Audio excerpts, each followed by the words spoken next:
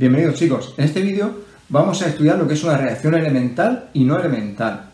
Vamos a ver cómo influye la temperatura en la velocidad de reacción, así como, dependiendo de la forma que tenga la ecuación cinética, la variación de la concentración de alguno de los reactivos puede hacer que la velocidad varíe o no varíe y en qué forma lo hace. Venga, vamos a ver que es muy sencillo. Aprende, en casa. Bien, en este problema se nos da la reacción A más B para dar C y se nos dice que es de segundo orden respecto de A y de primer orden respecto de B. Y nos pide que escribamos la ecuación de velocidad de este proceso. Bien, como sabes, la ecuación de velocidad adquiere esta forma. La velocidad es igual a una constante cinética por las concentraciones de reactivos elevados a unos exponentes que a priori no sabemos, son, se determinan de forma experimental. Bien, la velocidad de reacción viene dada en moles partido por litro y por segundo, siempre. La constante cinética, sus unidades dependerá de la forma que tenga la ecuación. Y alfa y beta son los exponentes que se les llama órdenes parciales de reacción. En nuestro caso, como nos lo han dado, pues tenemos que alfa vale 2 y beta vale 1. Y por tanto, la ecuación cinética será V igual a K por la concentración de A al cuadrado y por la concentración de B. Bien, en el apartado B se nos pregunta si es esta reacción un proceso elemental. Bien, es muy importante tener en cuenta, tener claro que es un proceso elemental. Se dice que una reacción es elemental cuando transcurre en una sola etapa.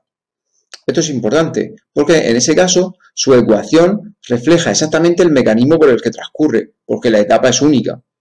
Y todavía más importante es que los órdenes, en ese caso y solo en ese caso, los órdenes coinciden con los coeficientes estequiométricos. Es decir, que si esta reacción que nos han dado fuese elemental, su velocidad sería V igual a K por la concentración de A y por la concentración de B, porque sus exponentes son 1, son los coeficientes estequiométricos. En este caso, la, reacción transcurriría que una molécula de A choca con otra de B y produce el producto C.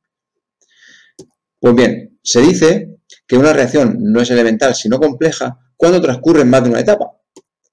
Y por tanto, su ecuación, lógicamente, no refleja el, verdadero mecanismo por el que transcurre, no refleja las etapas.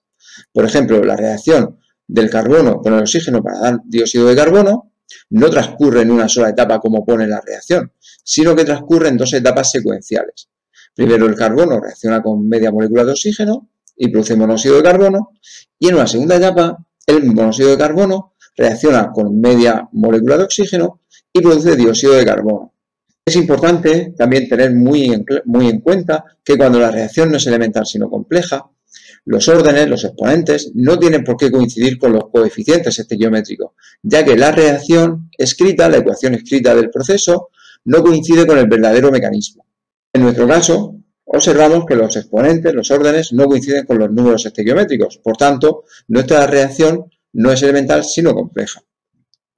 Bien, en este apartado se nos pide que digamos las unidades de la velocidad de la reacción y de la constante cinética. Como saben, la velocidad se define como el número de moles de una sustancia que reaccionan por unidad de volumen y por unidad de tiempo. Por tanto, sus unidades no pueden ser otras que moles partido por litro y por segundo. En cuanto a las unidades de la constante cinética, hay que calcularlas en cada proceso según su, ecuación de velocidad mediante un análisis dimensional. En nuestro caso, la velocidad de reacción viene dada por K, por concentración de A al cuadrado y por la de B. Escribimos las unidades que conocemos. Las de velocidad son moles partido por litro y por segundo. Las de la constante no las sabemos, las ponemos entre corchetes.